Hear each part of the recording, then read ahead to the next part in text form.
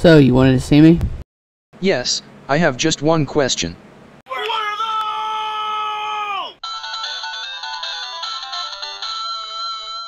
Greetings and welcome to Tower of Fantasy. I'm not going to be. This isn't a let's play. I'm only going to be talking about the game and showing the game off kind of at the same time. I told myself when I uh, decided to do this I need to write a uh, write get my thoughts of the game down on paper, and so I have some so I can talk about them legibly. But uh, I didn't do that. I had a bunch of stuff to do today, and it kind of uh, I kind of forgot. So I'm just gonna be talking about things as I think of them. So if uh, it kind of sounds like I'm rambling. That's why, and I apologize in advance. So, what is Tower of Fantasy? Basically, from what I understand of it, or for playing it from for a couple of days, um, it is basically just Genshin Impact. It's got like a more sci-fi feel than Genshin Impact does. It's definitely less uh, Chinesey from the way that it uh, is presented. A lot of the names don't have the uh, like Korean uh, like name design to them. If I can, here we go. Let me uh, switch weapons real quick so I can deal with this guy's shield. But uh, there, you can choose. You, you can create your own character. You know, design them however you want, and then there's like a whole bunch of other characters uh, you can play. But unlike in Genshin Impact and Tower of Fantasy, you don't have to switch to other characters to play the different weapon types and different playstyles. Your character can equip whatever weapon you come across. Uh, and while it will look like some weapons have a character attached to them, like if I uh, if I go into my weapons category, uh, like this uh, spear has this girl uh, attached to it, and this staff has this girl attached to it. And then this dagger doesn't have anybody attached to it from what you can tell. It's, because like a basic weapon. If I switch over to Simulacra, like these characters, I have them unlocked here, and I can switch to them. If I so choose. But, uh, you know me, I've, if I can't play my own characters, I don't want to play. so, that's just, my, uh, that's just me being a role player.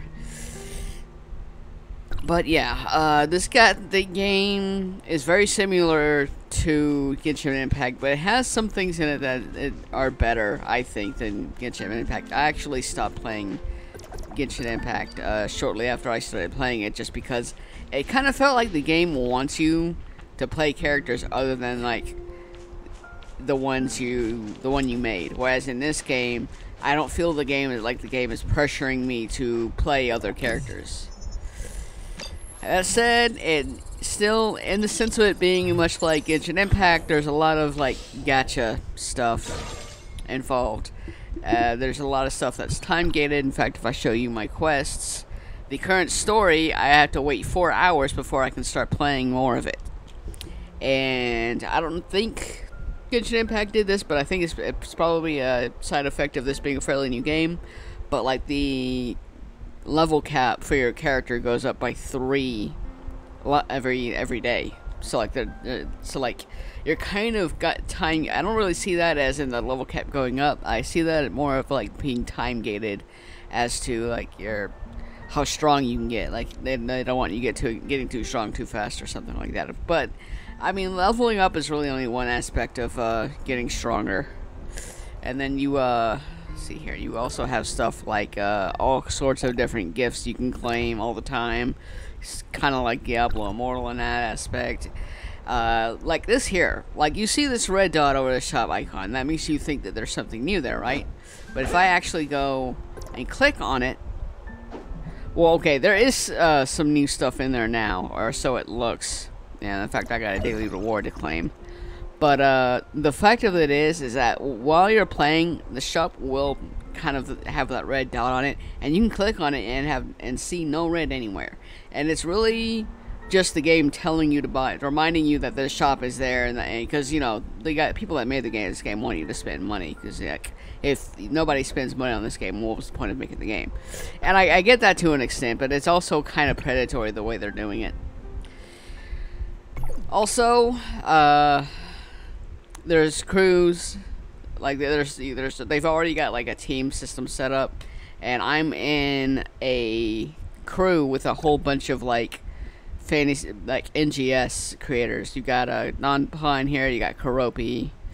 Uh, Skulls was here, but she this this crew got full, so she left to create a sister crew, I guess, which is like just more of the same, or supposed to be.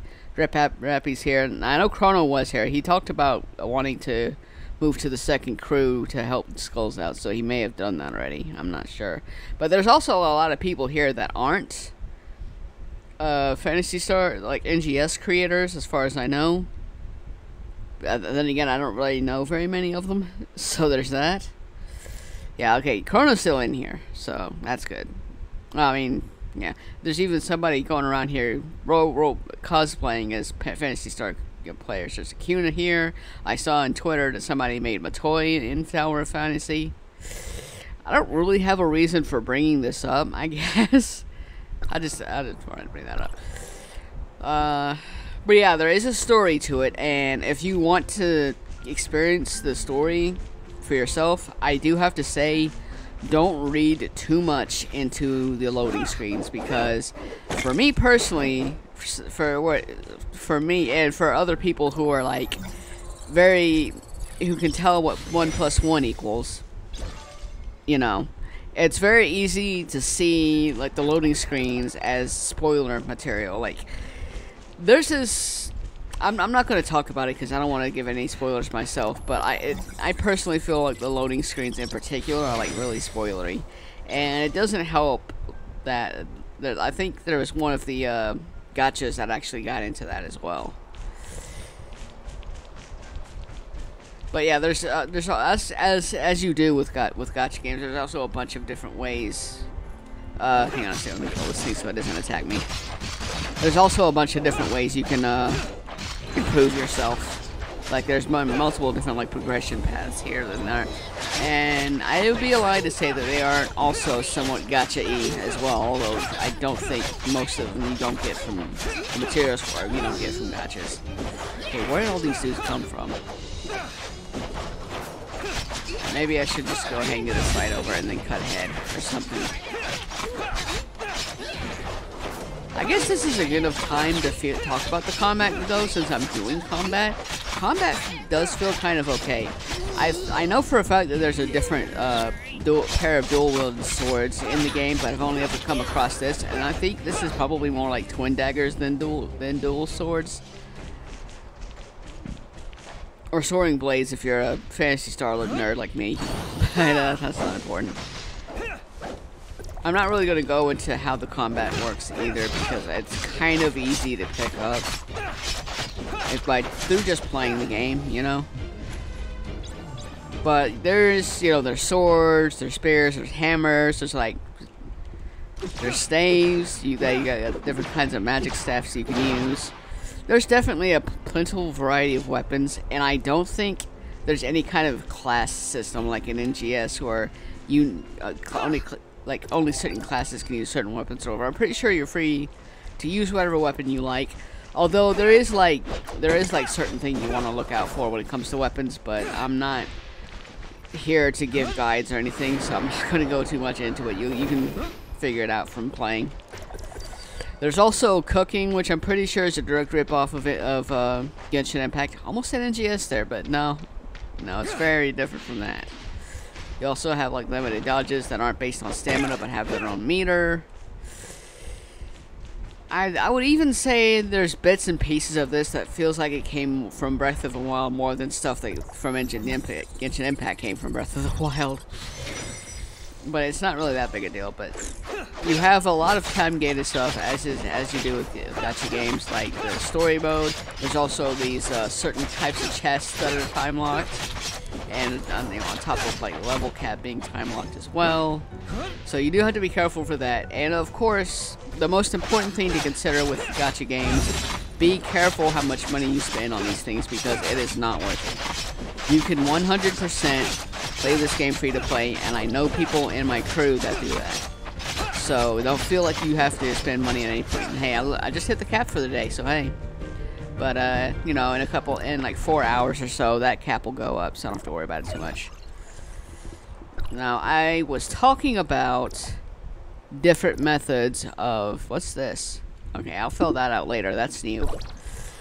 There's different ways to, like, upgrade your character, like different passive progressions. For, like, one, you've got the, your suppressor, like, you can upgrade, it's basically kind of level capped, although later on it's more like battle score capped because it's if it's a gacha, of course it has one of those. Um, but there's also a couple other ways. Let me go ahead and upgrade this real quick because I have the materials for it. There we go. Have, you see you get stats up from it. There's not, you can level your weapons up and you can put uh, gear on your weapons. Let me see here, go to warehouse, click on my yeah, click on this.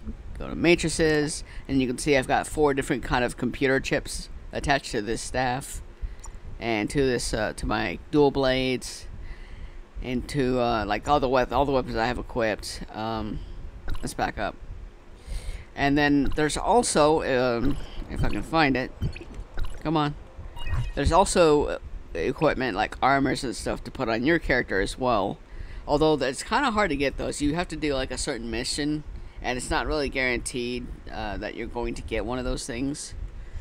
You know, because uh, MMO RNG, you know, you know how it is. So I, the main reason I wanted to make a video on this because the name Tower of Fantasy kind of spoke to me as a guy that really likes like MMO based anime uh, shows, but I'm kind of dis- I have to say I'm kind of disappointed because this ended up being just another Genshin Impact, or from the feel of it, like most of it. It does have its own story, and I do appreciate that it's more sci-fi sci-fi faced. I mean, I usually appreciate fantasy more than sci-fi, but between NGS and this, I, mm, I, I don't know about that anymore. I might be accumulating a taste for the both. Although uh, Genshin was a little too Chinese for my taste. Um, I wasn't really feeling it. That's I'm not no, I'm not saying that's a bad thing. It's just not for me. But yeah, you've got a whole on top of like a bunch of different progression paths and the capture stuff. You also have a bunch of different like resources for opening chests and all sorts of other things. And even for like the upgrades have their own um, resources. And also, because of course it does, the gaps the gacha have their own resources as well. So yeah.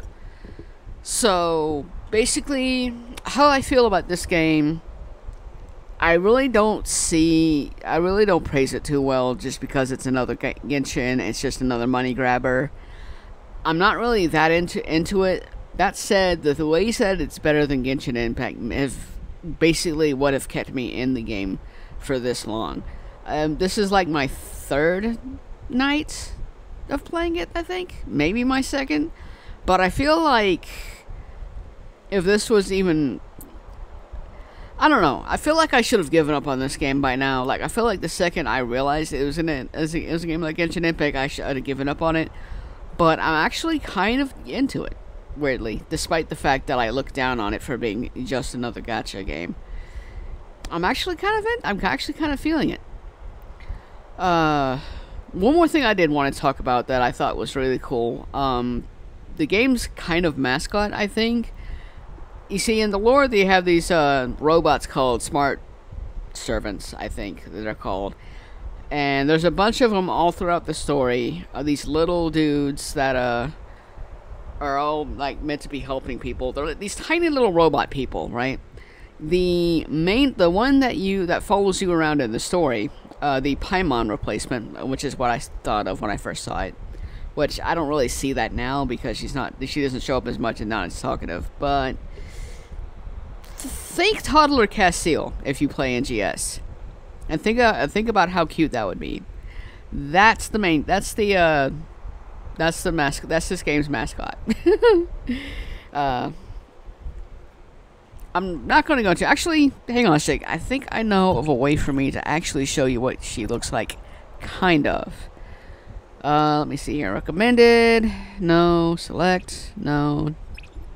I thought it was in here. Uh, oh, it, it, actually is, but I've already completed it. Oh, it, it let me go there here anyway. Now let me go into it. Uh, this is the game's mascot character, I think. I could be wrong about that. The mascot character could actually be uh, the person that saves your life in the main game, just judging by like the loading screens. But this, this definitely looks like it could be a mascot character.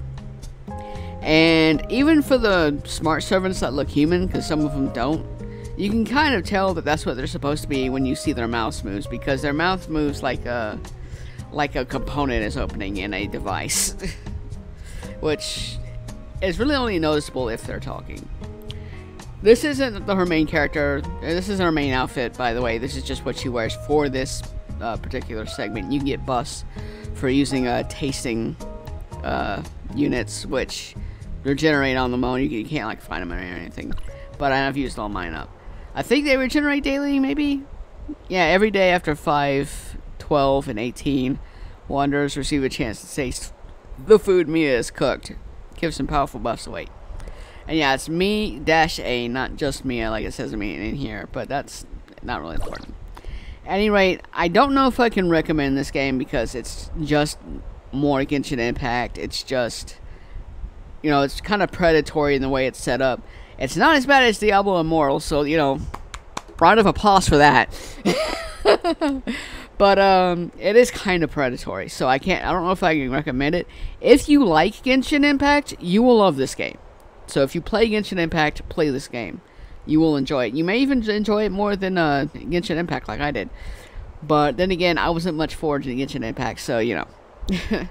um, I more, I more think the main thing that I think this game does better than Genshin Impact is freedom. Like you don't, you're not. When I played Genshin, I've already said this, but when I played Genshin Impact, I felt like the game was pressuring me to play characters other than one I, one I which I made, which flies in the face of what I value as a role player. But um, this game, you have the option to play as other characters, and really all they are is just skins. If I go here, I click on Simulacra. That's really all that they are. They're, they're just skins of characters that over go over your main character with the, the, their weapon of choice like equipped already all the way. And I think there's more than this. Yeah, there is. There's uh, quite a bit more. Wow. And you have an option to use their trait, whatever that means. But the game's it doesn't feel like the you the, it it does not feel like the game is pressuring you to play them because you don't like the characters they do get because they do appear in like drops from gacha, but it's it's like you're getting their weapon and not the character themselves. Like it's like you're getting the character's weapon and then the character skin in one drop but it's not, it doesn't feel like it's the character themselves that you're playing as. Then again i haven't tried them at all so they may have their own voice lines and such. Also one gripe about this game I really wish they had you had the option to choose between voice tiles for your main character. I felt this a little bit with Terashi because he sounds like a like a teenage boy when he talks, which I think is the point. But if I can get like a close up here, let me press C now. Does this look like a teenage boy to you? I gave him like a very mature looking face, and then I heard him talk, and I was like, "Oh, well that doesn't match at all." And it was even worse when I created Keiko because, of course, I did. but, uh, yeah, I, I would say if that's one thing I would like to see in this game, it's the ability to choose different voice packs for your for your created character. Uh, I'm not going to say anything about the story because I don't want to spoil anything. It's not really anything that major. It feels like it has a bit more substance than Gingia's story, but that's really not saying much. also, um, I feel a little bit under. There's like this main thread going on of what your character is trying to accomplish, and judging by the uh, the loading screens, my first impression was that the girl that saved your life at the beginning before you get to actually change your character's looks. Uh, it kind of seems like she's going to become a villain, which I am very much not about because. Okay, I'm gonna have to admit that part of this is because I'm a dude, but I kind of wanted to. I kind of wanted to protect her. I, I, I kind of had that same feeling for Matoi and PSO2. I'm going to shut up right there, and we're going to call this here. If you got this point in the video, it means the world to me, as it always does. I hope you enjoyed it, and hope to see you in the next one. Farewell.